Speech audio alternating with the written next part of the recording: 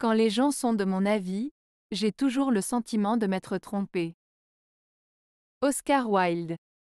Cette citation signifie que si tout le monde est d'accord avec lui, Oscar Wilde a peur que sa façon de penser ne soit pas originale ou novatrice.